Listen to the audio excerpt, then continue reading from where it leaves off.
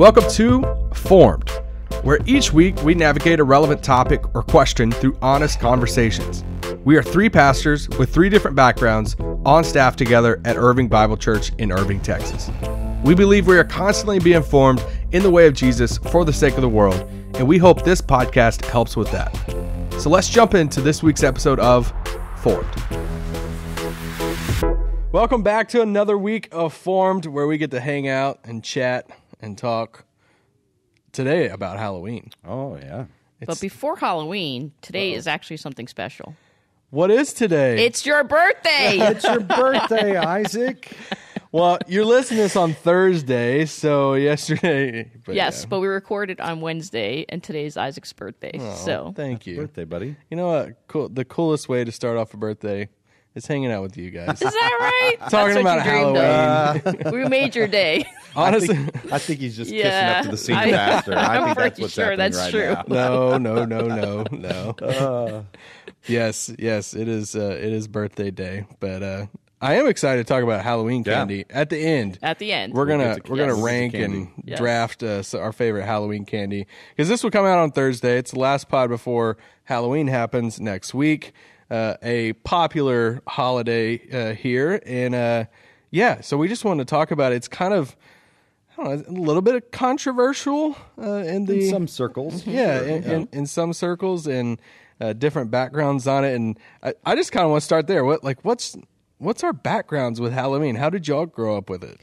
So my parents were Indian immigrants, so we didn't really, especially as like little kids, I didn't participate in Halloween. Not even because I mean there were some questions about like pagan roots of Halloween and all of that, but more than that, it just wasn't. A, like they were just culturally unaware of it. So I remember I was probably like in kindergarten or first grade, coming home and saying like I need a costume, and my dad looking at me like just like I was crazy, saying, so you want me to pay for you to dress up to go to school? Like, why can't you just go to school as yourself? You know? So it wasn't probably until like you know teens that I actually where where I could have input um, about my costume that I started participating in Halloween. but we still did trick or treating because all the candy. Gotta get all that candy. Yeah. Good. Yeah. So I mean, I grew up in the um, '70s and on into the '80s, and so if you think about Stranger Things and Halloween Yeah. on the show Stranger Things, like I think I was the same age in like 1982 as those kids, you know. So um, that was sort of the scene. It was Halloween was a really big deal around here, and um, the the trick or treating, like you would sometimes drive to the like Yeah. really affluent neighborhoods where you knew the candy was going to like candy. they give out like full size candy bars over there, you know, and so um, but yeah, I mean just uh, the little plastic mask with the Mm-hmm. uh, the thin little rubber band around the back of it. Um, homemade sometimes Halloween uh, costumes. So yeah, it was always just a fun, playful uh, time with friends and and family. Sometimes my sister would uh, would uh, figure out my costume for me. She was older than me, so this is what That's you're gonna great. do. So Yeah. yeah. Is there a favorite like costume that you remember going as? You're like, because I I went as Gandalf one year, and I Nice. just it's my favorite thing ever. I still remember it, and So I don't remember specific costume. Of course, I just referenced how long ago it was that I was dressing up for Halloween. Yeah, so at this yeah. at this point, my, my memory is not maybe as clear. But I my my kids especially, and especially my my middle kid, my now eighteen year old freshman in college, he would design his own costumes. Like we didn't ever do a store bought costume for him after he got to a certain age. And what he pulled off, I mean, he's the all three of my kids are theater kids, but what he could pull off. So one year he was um, uh, Nightwing, and this costume he pulled together was Wow. amazing. One year he was the Joker um, from the their Jared Leto version of Joker. Uh-huh. But Yeah. I mean, we got outfit, costume. He did makeup, all that. I mean, uh, amazing what he would come up with for That's his awesome. Halloween costume. So yeah, that's cool. Yeah, I don't think I have anything memorable. nothing. No. Dang, I I was want wanting to see pictures of you. As Yeah, Gandalf. Gandalf, is Gandalf. pretty good though. I need to see young pre-beard Isaac anyway. know. But Hey, well, I had a long beard for that costume, and that was awesome. Chewbacca one year. was Wow. oh, Uh, Chewbacca's nice. a good one. That was a fun one. Yeah. Uh, okay, so let let's let's take Halloween and kind of go backwards. How what is the the origin? How did this holiday come to be? Yeah, so it's interesting to note, especially given the fact that, as you alluded to, it's sometimes a little bit of controversy surrounding this day. It's, it's interesting to note um, even the name Halloween comes from uh, All Hallows Eve, and it's actually a a recognition from uh, the Christian calendar. Um, so November first is um, All Saints Day in the traditional Christian calendar. So that's the day that the church, from very early on, early centuries of the church, there was a day that was set apart to just commemorate those uh, especially distinctive, holy people who had gone ahead. November 2nd then is All Souls Day, where it's the time to remember you know, all who have departed in Christ. Um, but oftentimes a holiday, just as we have Christmas Day, you actually do a celebration yep. the night before Christmas Eve. So with All Saints Day or All Hallows Day, it was All Hallows Eve the night before, and that would be a time of celebration, a time of partying.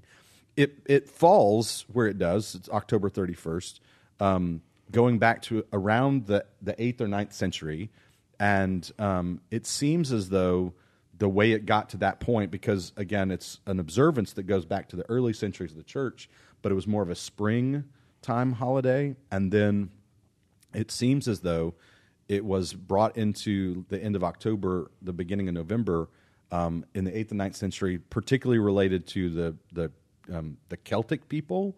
And there had been uh, uh, when um, before Christianity came to the Celts, they had a harvest festival, mm-hmm. so a kind of a pagan harvest festival uh, that was there at the end of October.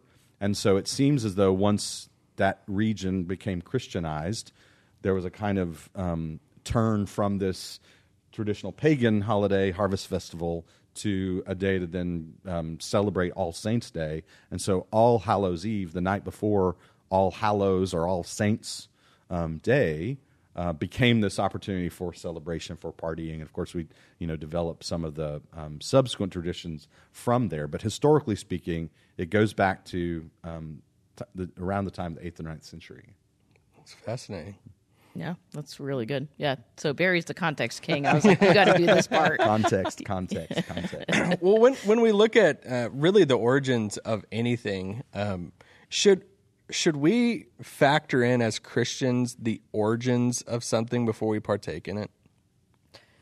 So maybe um, is I think the question you're trying to ask. Let me say it like this. I think the qu- question, or how I would maybe think about it, is does the fact because before it, it was All Hallows Eve, there were pagan roots with the, the Celtic people. So does the fact that it has pagan roots then mean that it somehow compromises or, or taints how we practice it in the present? And um, I think we have to be careful with that because there isn't there isn't this absolute right or wrong. Um, I think a lot of this is we were given freedom. Paul talks about this in 1 Corinthians 10 that we're given freedom to engage in cultural practices. Uh, and so that's really it, up to each individual to determine, examining their conscience test uh, and seeing is this a way that is this something I could participate in mm-hmm. in, in a way that's going to still be God honoring. And so I think that's the question. It's not necessarily in my mind um, if it has these roots that, that we can't then participate in it in the present time. Does that make sense? Yeah, no, that's good. Yeah, I think um, part of this has to do with the, the interplay between um, our faith and our cultural yes. location, our cultural that's situatedness, mm-hmm. and just the recognition that there is no um, expression of Christianity that sort of just floats along above or outside of culture. Mm. That that throughout the centuries of the church, um, our our faith has always been um, lived out, expressed within a particular cultural context. Mm-hmm. And so mm-hmm. that's why even thinking about, um, you know, Sissy with your Indian ethnic background, like what the church has looked like and how it's expressed itself in that cultural context compared to where we are right now here in Irving, Texas, right? There's there's differences that we see historically that are the the, the wedding of um, our faith and our cultural location. So then you go back and you think about a time where a particular culture goes through a significant moment of transformation, mm-hmm. like the, the, the people of Ireland back in the seventh, eighth, ninth centuries, where that region went from paganism to predominantly Christian. Mm-hmm. And so you can imagine how, well, we're accustomed to having a, a, a, feast and having a party at this time of the year.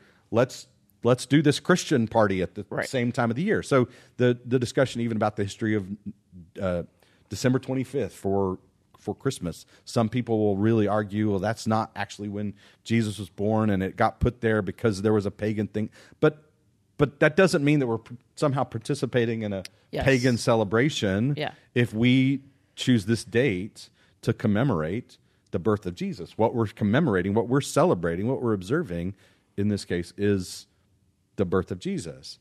And so, yeah, I don't think we have to be over concerned that somehow it's ancient cultural um, backgrounds somehow taints our contemporary expression or experience. The issue is what is it that we're doing? What is it that we're commemorating? What is it that we're participating in? Yeah. Does that make sense? No, it totally does. Yeah, I it- agree. no, it does. How so? How do you um, how do you answer the question? Should Christians celebrate Halloween?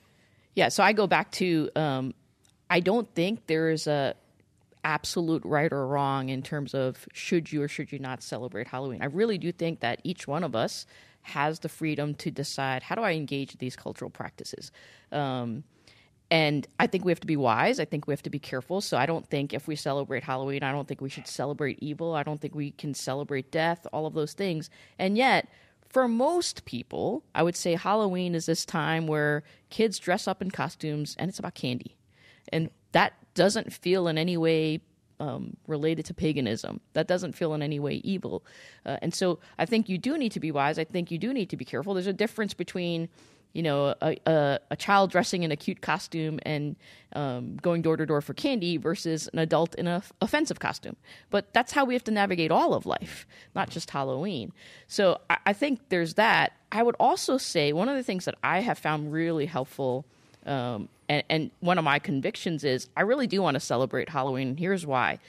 I think it's. I don't think it's a, a a- necessarily an evangelistic opportunity or an outreach opportunity, but I do think it's an opportunity to love our neighbors.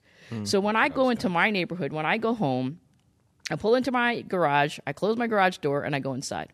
And that's what all my neighbors do. And I rarely see my neighbors outside. And if they're outside, typically they're in the backyard, or maybe I might see them walking their dog or something like that. Um, but on Halloween, it's almost as if all the walls come down. And people are actually coming to my home Yeah, and knocking on my door, right? And and I get to give them something good, and so I think Christians shouldn't buy cheap candy. Like I think we should give good candy out. Uh, but it's an opportunity to engage with your neighbors, to uh, have conversation with them, with their kids, uh, and to get to know people, to interact and be part of the community. And so I really struggle with, for me, I don't want to be that house that has the lights turned off and I'm not going to be home or I'm not going to answer the door. I want to be the house that the lights are on. I want you to come in. I want you to, uh, I want, I want to, you know, have fun with you and be welcoming and hospitable and caring. And I think Halloween gives us an opportunity to do that. Yeah, that's part of the reason why we as a church just have chosen not to do Yes. a big fall festival or a trunk or treat and Yeah. that sort of thing because we really do want the people of our church to be in their neighborhoods Mm-hmm. and to be interacting with and getting to know their their neighbors and this is a perhaps a really silly uh, biblical analogy but it came to my mind as you were talking Sissy I think about the story of the wedding feast at Cana and Jesus turns water into wine and it's not just it's not just you know the the cheap stuff it's Right. like this is like the best wine, right? Jesus brought the best wine to the party. And I think as Jesus followers, we should dedicate ourselves to we're going to bring the best wine to the party. We should bring the best candy to Yes. candy to Halloween. I, I saw a uh, I saw a, uh, a clip on uh, Instagram of somebody saying, "We don't celebrate Halloween as a family. We just like to dress up in costumes and get lots of candy." And then it cut to somebody going, "I think that's I think that's celebrating Halloween, right?" So. Um, yeah, I think it's just something that can be really fun and really playful. Obviously, there there there is um, a, a kind of a dark side, and we, we probably should spend a little time thinking about talking about that. But um, yeah, I think it's a really great opportunity for us to be engaged with our neighbors in the front yard, passing out candy, you know, smiling, talking to people. So Yeah, yeah. So let's let's go there because Yeah. there is there is this dark side of Halloween. There is this, you know, my son's going to dress up as Captain America, and uh, my little girl's going to be Cinderella. They they're so excited and to get candy, but there's also this other side of um, even like how. Uh, Barb and I, my wife and I, grew up with Halloween. She didn't grow up celebrating it. She's like, we're not. Her family didn't play around with you know with the Halloween Halloween at all. I'm over here dressing up as Chewbacca. So it, it's a there. There are some darker paths of Halloween when it comes to worshiping Satan and sure. demons and this glorification of uh, of of that. And so, how do we handle that part of Halloween as Christians? Yeah, again, um, I think that's where we have to be careful and wise. And so, even thinking about Captain America and Cinderella are wonderful. That's great things for kids to be, but I would be careful about maybe um, what costume I would wear or what I'd have my child do, and and really helping them even understand. Um, I think we rarely talk about the history of Halloween, and so really helping them understand even the history of it. Um, but I do think there's a way. While that's true, and I think more and more.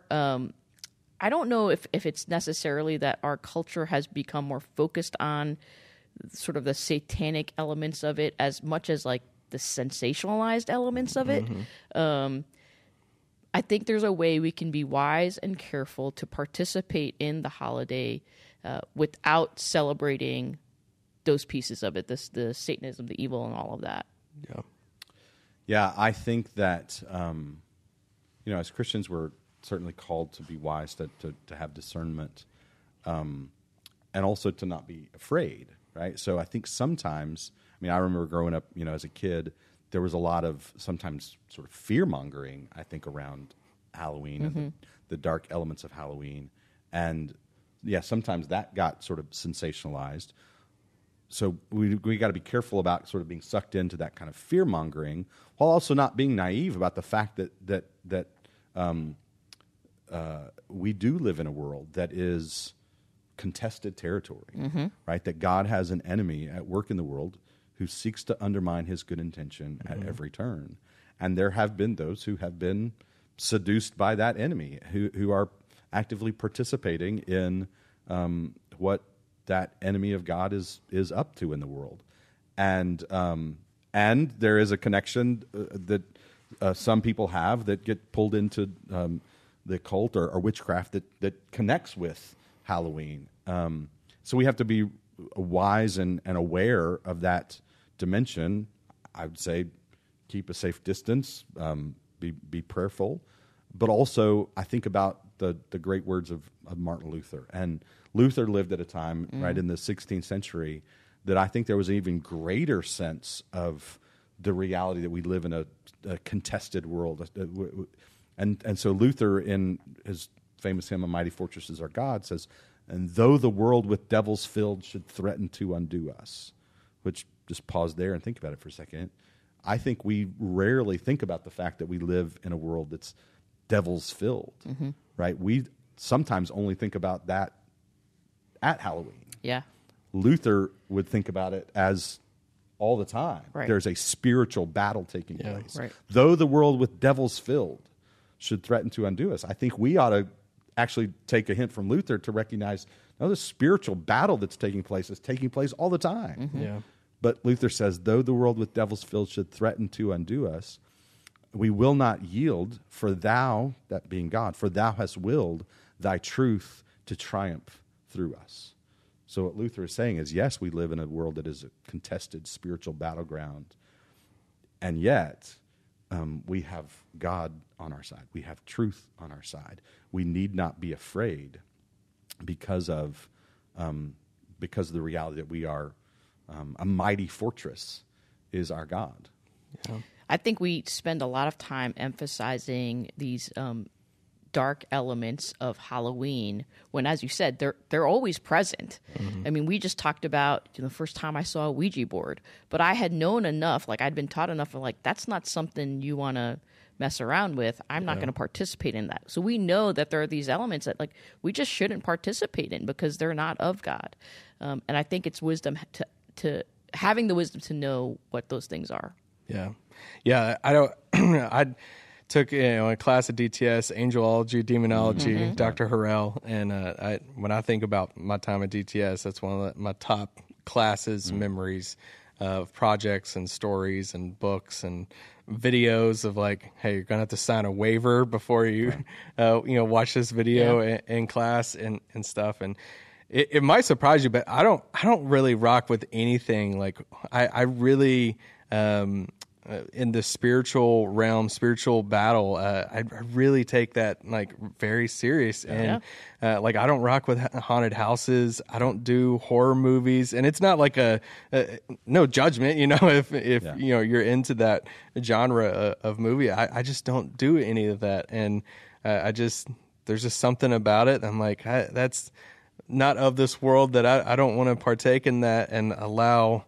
Um, yeah, just that spiritual yeah, it's a whole. I mean, we could do a whole a whole podcast on the Yeah. the spiritual battle and spiritual realm of that. But uh, so, how do we? Uh, if there's parents listening to this, how would you uh, give advice, like to how do you navigate the topic of Halloween with with kids? Well, I don't have kids, so I want you to start first. You can still. Here's you what I would say, in. yeah, but yeah, I want can- Barry to start Uh, You know. I think I think for us it was just always approached as very fun, playful, um, uh, a time to get lots of candy. So uh, a time for them to be prepared. I mean, how do you talk to kids about it? Just prepare them for the dad tax. So that they understand there there will be a dad tax at the end of the night. That as we dump Yeah, that's out your as we dump out your bucket, Dad will be picking out a few choice I- pieces. I get the first fruits. I, I, try, I try to make sure it's the stuff that they don't especially love that I might especially love. but uh, funny. but every once in a while, I'm getting one of their. gonna have to test this out for you, peanut make butter sure cups. So yeah, That's right. yeah, I would say um, I really, I really enjoy uh, hearing the history of Halloween. Like I didn't learn that until much later on, and so then understanding where this came from was was really helpful to me to even understand.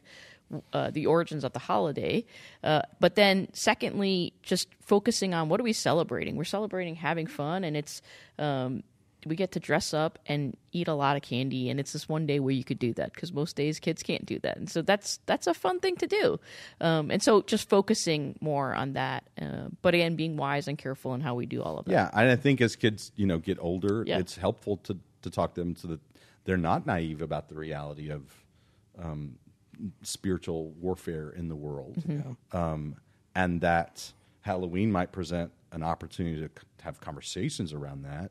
Um, but the reality of spiritual warfare is not something that's that's Reserved. reserved for one day a year, but it's actually a reality that um, you know that we need to be mindful of all the time. Yeah. All right, y'all ready to have some fun? Let's do. Talk some Halloween candy. i spent more time thinking about this than anything else. You got i got notes notes, I've, i'm ready. I, I came to play. All right, at the end of each episode, we like to have some banter, fun uh, conversations with this. So, uh, this week's assignment was, hey, we're gonna do a fantasy draft of your a Halloween bucket, and we're each gonna pick a, you know, go kind of go back and forth, have a little snake draft here, and uh, we'll start with Sissy, go to Barry, then me, and then I'll I'll do two picks, then come back, and we'll do it this way. For favorite or best Halloween bucket for creating okay the best Halloween bucket. Sissy. I got to think uh, about my strategy though. I thought about candies, but like, do I take stuff first that's obscure that you wouldn't take anyway, or do I save that for later because it'll still be on the board? But take the oh man, I If didn't you want to take the black first. licorice like f- first, you could have that. No, I'm not taking that one. no black no then I won't Kim be able loves to the take it. red, the red licorice. She really loves that, but not Interesting. me so much. So Okay. all right number one draft pick reese's peanut butter cups ah, see, yeah. Okay. that's where i'm going Are, are you bummed by that? Well, I mean, I You love thought those? that was going to be in the top three, and so that's. But I don't feel like that was that's one of specific- yours. No, it's specifically Yeah? what I was thinking about. It's Oh. like, should I grab that one with my first pick? Because I know my top pick will still be on the board. I think I'm just going to go with what I really like, and so, ladies and gentlemen, I'm going for Milk Duds. Oh, Milk Duds. Milk Duds. that little yellow I box. love Milk Duds. I actually really do like them too. They're on my list of what I would be Love drafting. Milk Duds. yeah they're all right You don't That was like one of 'em? those that I could take a dad tax, and I didn't get a lot. Of. Yeah of they're not going to give you a hard so- time about that yeah yeah. Well, I'll leave Peeps for Sissy. That's Easter, wrong holiday. Uh, real quick, is candy corn the Peeps of Halloween? Oh, No, because peeps are good. I don't like candy corn.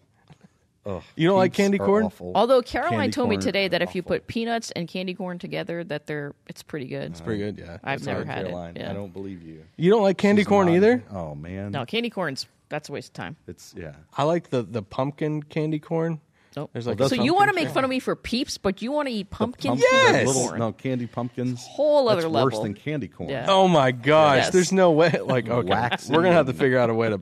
We're gonna send. What's like, your pick? What's your pick? All Go ahead and take the pumpkins. Yeah. Go ahead. Yeah, go take ahead. the no, candy no, no, no. pumpkins oh, hold and then off. candy corn. Okay, now it's back to me. Okay. Well, this kind of gives away that I like like the fruity candy more than like chocolate. Oh. So my back to back picks are Skittles and Airheads. Nice. They're, I mean, they're my first Yes. two. I'm going after Nice. in the bucket. Good pick. Skittles and good pick. Airheads. Yeah. Skittles are I love Airheads.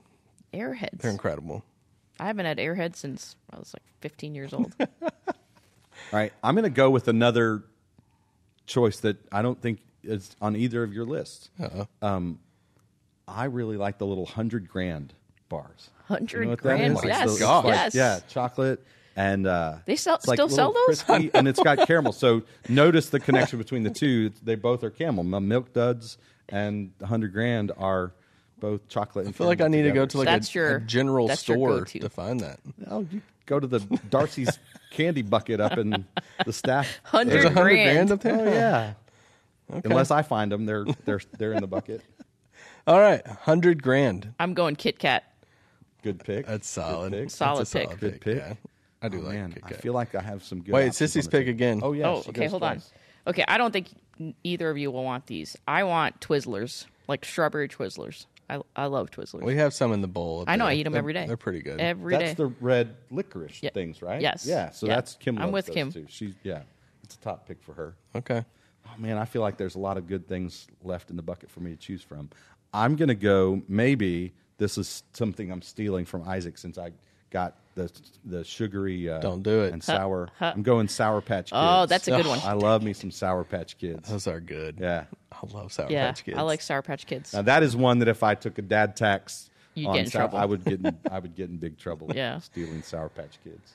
All right, I'm taking Nerds. Nice. I love a good little little- box of those Nerds. little box of Nerds, Yeah, they're yeah. solid. That is good. And then I might be taking one from you because it's I say caramel. Okay. Do you say you say caramel? I don't know right? what I say. It's caramel. I'll take Milky Way.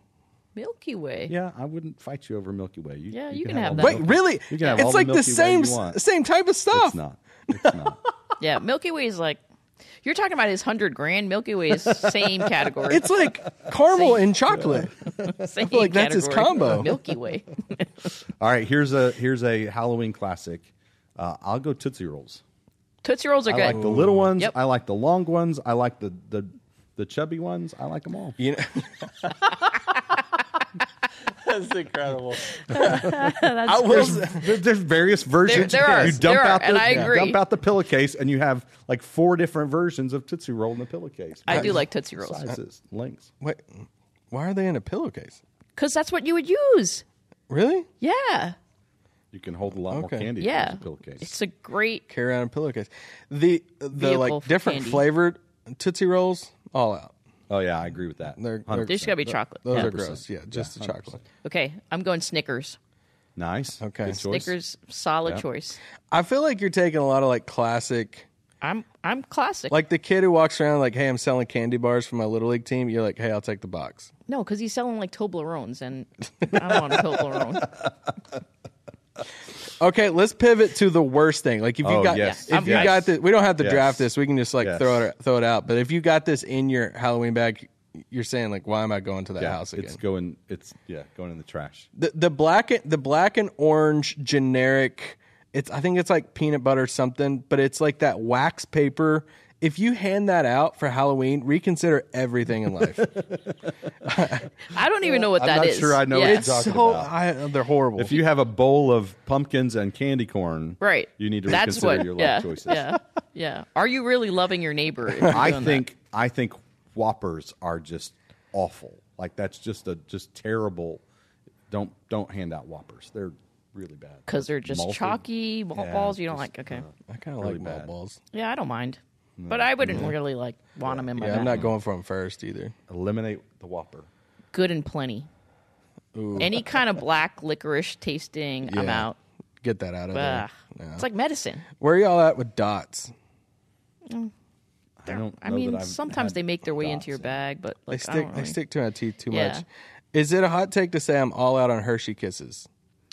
They're they're everywhere, I know they're just kind of like bland. and It's, they're yeah. the return on investment of like getting that thing open is just like It takes a lot of work That's for not a lot of That's true. I know it's just Yeah, like what, I don't no, know what I- I'm doing. That's Like, true. what- why am I doing this? They've got a uh, lot of different flavors now. I'm I'm, I'm not down to eliminate though. I mean, come on. Okay, I, but I think I want them in my in my Christmas stocking. yeah, they're not, a so Halloween. my That's a good point. Basket. That's a good point. yeah, that's true. Okay, all right.